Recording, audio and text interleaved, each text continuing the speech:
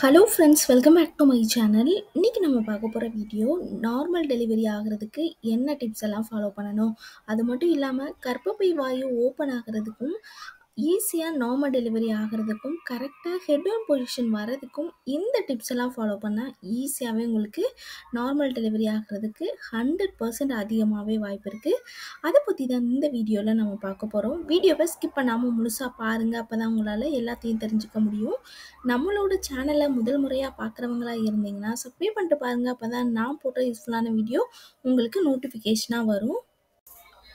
Normal delivery ஆகிறதுக்கு ரொம்ப முக்கியமான ஒன்று நம்ம பார்த்தோம்னா ஏழாவது மாதத்துலேருந்து நம்ம இதை ஃபாலோ பண்ணலாம். அல்லது உங்களுக்கு எட்டு மாதம் ஒம்பது மாதம் அல்லது எனக்கு டெலிவரி ஆக ஒரு வாரம் தான் இருக்குது ஐந்து நாள் தான் இருக்குது அல்லது மூன்று நாள் தான் இருக்குன்னா கூட நீங்கள் இதை ஃபாலோ பண்ணலாம்.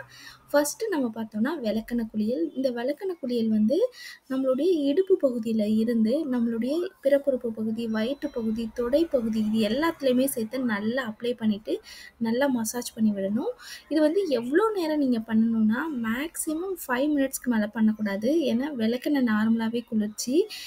ஒரு சிலருக்கு விளக்கெண்ணெய் ஒத்துக்கிடலை. அவங்க வந்து வேறு ஆல்டர்னேட்டிவாக தேங்காய் அல்லது ஆலிவ் ஆயில் கூட நம்ம யூஸ் பண்ணிக்கலாம்.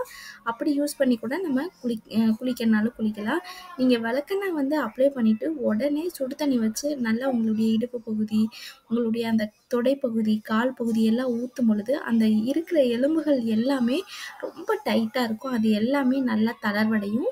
அப்படி தளர்வடையும் பொழுது உங்களுக்கு ஈஸியாக கர்ப்பப்பை வாயு ஓப்பன் ஆகும். கர்ப்பப்பை வாயு ஓப்பன் ஆகிட்டாலே நம்மளுக்கு நார்மல் டெலிவரி ஆகிறதுக்கு ஹண்ட்ரட் பர்சன்ட் வாய்ப்பு இருக்குது அதனால தான் விளக்கண குளியல் வந்து குளிக்க சொல்கிறாங்க விளக்கண குளியல் ஒரு நாளைக்கு ஒரு தடவை குளித்தா போதும். காலையில் குளிக்கலாம் அல்லது நைட்டு தூங்கும்போது குளிக்கலாம். அது ரொம்பவே நல்லது. ஒரு சிலருக்கு விளக்கெண்ணெய் கிடைக்கல இல்லை எனக்கு விளக்கெண்ணெய் ஒத்துக்காதுன்னு சொல்கிறவங்க நார்மலாக தேங்கெண்ணெயோ அல்லது ஆலிவ் ஆயிலோ நம்ம யூஸ் பண்ணலாம். ஆனால் இந்த ரெண்டை விட உங்களுக்கு விளக்கெண்ணெய் தான் விலை கம்மியும் கூட. எஃபெக்டும் ரொம்ப அதிகம் வந்து விளக்கெண்ணெய் இல்லைன்னா ஒத்துக்காதவங்க இது வந்து மற்ற ஆல்டர்னேட்டிவாக யூஸ் பண்ணலாம். இல்லை உங்களுக்கு கிடைக்கும்னா விளக்கெண்ணெய் ஏழாவது மாதத்துல இருந்தே ஃபாலோ பண்ணுறது ரொம்ப முக்கியமான ஒரு இது. இது இதை ஃபாலோ பண்ணிங்கன்னா கண்டிப்பாக உங்களுக்கு அந்த கர்ப்பப்பை வாயு ஓப்பன் ஆகிறதுக்கு இது ரொம்பவே ஹெல்ப் பண்ணும். செகண்ட் ஒன் பார்த்தோம்னா விளக்கெண்ணெயவே வந்து இரண்டு விதமாக நம்ம எடுத்துக்கொள்ளலாம். ஃபஸ்ட்டு ஒன்று பார்த்தோம்னா ஆம்லேட் விளக்கெண்ணெய் ஆம்லேட் வாரத்தில் ஒரு நாள் எடுத்துக்கொள்கிறது ரொம்பவே நல்லது. அதிக நாள் எடுத்துக்கொள்ளாதீங்க. ரொம்ப லைட்டாக யூஸ் பண்ணி ஆம்லேட் போட்டு சாப்பிட்லாம். இரண்டாவது பார்த்தோன்னா டெய்லி ஒரே ஒரு ட்ராப் வந்து உங்களை உங்களுடைய உள்ளங்கையில் வச்சுட்டு அப்படியே நாக்கால் எடுத்து சாப்பிட்றது. கொஞ்சமாக தண்ணி வந்து சுடு தண்ணி வந்து குடிச்சிடணும். ரொம்ப கிடையாது. ஒரு ஸ்பூனோ அரை ஸ்பூனோ கிடையாது. ஒரே ஒரு ட்ராப் தான். அப்படி எடுத்துக்கொள்ளும் பொழுது கூட அதுவும் நம்மளுக்கு நம்மளுடைய இடுப்பெலும்புகளை தளர்வு பண்ணுறதுக்கும் நல்லா தளர்வடைகிறதுக்கு அது ரொம்பவே ஹெல்ப் பண்ணும். இந்த மூணையும் நம்ம ஏழாவது மாதத்துல இருந்தே நம்ம ஃபாலோ பண்ணலாம். இன்னும் நம்ம பார்த்தோம்னா நம்மளுக்கு வலி கம்மியாகிறதுக்கும் சீக்கிரம் நம்மளோட இடுப்பெலும்புகள் தளர்வடைகிறதுக்கும் ரொம்ப ஹெல்ப் பண்ணக்கூடியது சோம்பு கஷாயம் இந்த சோம்பு கஷாயம் வந்து எட்டாவது மாதத்துலேருந்து தான் ஃபாலோ பண்ணணும். அதுக்கு முன்னாடி ஃபாலோ பண்ணக்கூடாது. ஏன்னா இது வந்து நம்மளுடைய கர்ப்பப்பை வாயை ரொம்ப சாஃப்டாக்கி சீக்கிரம் டெலிவரி நடக்கிறதுக்கு ரொம்பவே ஹெல்ப் பண்ணக்கூடிய கஷாயம் தான் இந்த சோம்பு கஷாயம் இந்த சோம்பு கஷாயம் எட்டாவது மாதத்துலேருந்து உங்களுக்கு ஃபாலோ பண்ணும் பொழுது அந்த பிரசவ வலியோட வலியை கம்மி பண்ணுறதுக்கும் பிரசவ வலியோட நேரத்தை கம்மி பண்ணுறதுக்கும் இது ரொம்பவே ஹெல்ப் பண்ணும். என்ன காரணம்னா உங்களுக்கு இப்போ ஒரு நாள் ஃபுல்லாக பிரசவ வலி ஏற்படுது. அந்த நேரத்தில் நீங்கள் சோம்பு கஷாயம் வச்சு குடிக்கும் பொழுது உங்களுக்கு அந்த பிரசவ நேரம் வந்து சீக்கிரமே டெலிவரி ஆகிறதுக்கு ஹெல்ப் பண்ணும். ஏன்னா இது போய் நம்மளுடைய கர்ப்பப்பை வாயை ரொம்ப சாஃப்ட் ஆக்கும் பொழுது சீக்கிரமே கர்ப்பப்பை வாய் ஓப்பன் ஆகி நம்மளுக்கு சீக்கிரம் டெலிவரி நடக்கிறதுக்கு நிறைய வாய்ப்பு இருக்குது. இது- இது வந்து என்னோட சொந்த அனுபவம்னு கூட இதை சொல்லலாம். இதில் சொல்கிறது எல்லாமே வந்து என்னோட சொந்த அனுபவம் தான் ஏன்னா எனக்கு ஃபஸ்ட்டு வந்து சி செக்ஷன் செகண்ட் வந்து நார்மல் டெலிவரி ஆச்சு. அதைத்தான் சரி ஓகே இந்த டிப்ஸ் எல்லாம் நான் ஃபாலோ பண்ணேன். உங்களுக்கு நார்மல் டெலிவரி ஆகிறதுக்கு இது ரொம்பவே ஹெல்ப் பண்ணும். நெக்ஸ்ட் நம்ம பார்த்தோம்னா நம்ம சாப்பிட்ற உணவு நம்மளோட சாப்பிட்ற உணவே நம்மளுக்கு நார்மல் டெலிவரி ஆகிறதுக்கு ரொம்பவே ஹெல்ப் பண்ணும். அதிகமான எண்ணெய் ஐட்டமும் ரொம்ப ஆயிலில் ஃப்ரை பண்ண பொரிச்ச இதையும் நம்ம சாப்பிடக்கூடாது. அதே மாதிரி ஸ்நாக்ஸு மிக்சர் சேவு இந்த மாதிரி ஆயிலில் ஃப்ரை பண்ணுறத வந்து லாஸ்ட் ஒரு மாதத்துக்காவது அவாய்ட் பண்ணணும். மேக்ஸிமம் கார்போஹைட்ரேட் உணவை கம்மி பண்ணிவிட்டு அதாவது ரைஸை வந்து கம்மி பண்ணிவிட்டு அதிகமான காய்கறிகளை வந்து எடுத்துக்கொள்ளணும். அப்படி எடுத்துக்கொள்ளும் பொழுது உங்களுக்கு சீக்கிரம் அந்த ஃபேட்டு அதாவது நம்மளுக்கு வெயிட் இன்க்ரீஸ் ஆகிறத கம்மியாகும் பொழுது குழந்தையோட வெயிட் வந்து இன்க்ரீஸ் ஆகும்.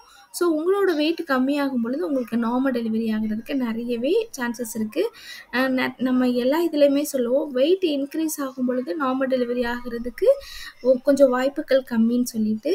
ஏன்னா நம்மளுக்கு வெயிட் இன்க்ரீஸ் ஆகும் பொழுது நம்மளுக்கு நிறைய பிரச்சனைகள் வந்து உருவாகும். நார்மலாக தைராய்டு உருவாகலாம் சுகர் உருவாகலாம் அதுதான். மற்றபடி வெயிட்டுக்கும் நார்மல் டெலிவரிக்கும் எந்த ப்ராப்ளமும் கிடையாது எந்த சம்மந்தமும் கிடையாது. இந்த சுகரோ அல்லது ஹ- ஒரு சிலருக்கு வெயிட் இன்க்ரீஸ் ஆகும் பொழுது ஹை பிபி வந்து உருவாகும். அப்படி உருவாகும் பொழுது கூட உங்களுக்கு அந்த பிரசவ நேரத்தில் ஒரு பயத்தில் கூட உங்களுக்கு அந்த ஹை பிபி உருவாகிறதுனால சீக்கிரம் குழந்தை வெளியில் வரணும்.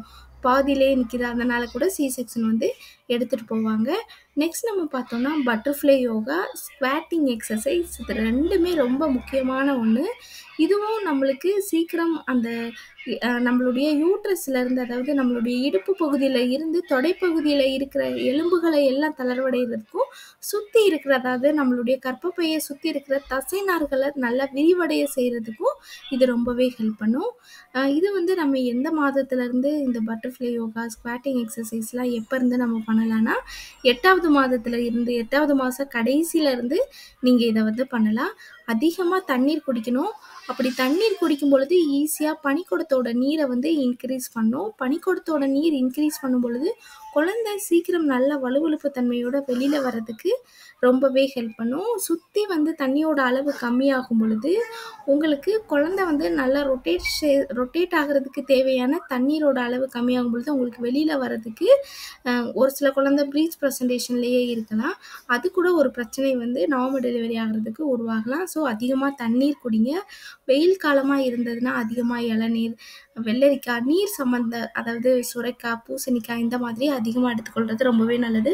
ஒரு நாளைக்கு குறைஞ்சது அரை மணி நேரம் வாக்கிங் போங்க. சும்மாவே உட்காராதீங்க. ஏதாவது ஒரு வேலைகள் வந்து பார்த்துக்கிட்டே இருங்க. நம்ம எந்த அளவு நல்லா வேலை செய்கிறோமோ அந்தளவு நார்மல் டெலிவரி ஆகிறதுக்கு நிறையவே சான்சஸ் இருக்குது கடைசி ஒன்று நம்ம பார்த்தோம்னா நம்மளோட தைரியம் அதை விட நம்ம நம்பணும். நம்ம கரெக்டாக நம்மளுக்கு நார்மல் டெலிவரி தான் நம்ம பண்ணணும். நார்மல் டெலிவரி தான் நம்மளுக்கு ஆகுங்கிறத நீங்கள் நம்பணும். பாசிட்டிவ் எனர்ஜி பாசிட்டிவ் திங்கின்னு கூட சொல்லலாம். அப்படி இருக்கும் பொழுது கண்டிப்பாக உங்களுக்கு நார்மல் டெலிவரி ஆகிறதுக்கு நிறையவே வாய்ப்பு இருக்குது ஏன்னா பிரசவ நேரத்தில் வலி அதிகமாகும் பொழுது கூட இந்த டிப்ஸ் எல்லாம் ஃபாலோ பண்ணாலே கண்டிப்பாக நார்மல் டெலிவரி ஆகும். இதை தவிர நல்லா வாக்கிங் போங்க squatting exercise butterfly yoga maximum Indian toilet use பண்ணுங்கள் ஒவ்வொரு தடையும் உட்காந்து எந்திக்கும் பொழுது கூட அது கூட நம்மளுக்கு ஒரு எக்ஸசைஸ் தான். மேக்ஸிமம் வந்து கீழே உட்காந்து எந்திக்கிறத வந்து ட்ரை பண்ணலாம். சேர்லேயோ சோஃபாலேயோ உட்காரத விட அப்படியே உட்காந்தா கூட கால்களை வந்து நீட்டி உட்கார்றது ரொம்பவே நல்லது. ஓகே ஃப்ரெண்ட்ஸ் இந்த வீடியோ உங்களுக்கு ரொம்பவே யூஸ்ஃபுல்லாக இருக்கும்னு நினைக்கிறேன். இந்த வீடியோ பிடிச்சிருந்ததுன்னா லைக் பண்ணுங்கள் ஷேர் பண்ணுங்கள் கமெண்ட் பண்ணுங்கள் மறக்காமல் சப்ஸ்கிரைப் பண்ணிவிடுங்க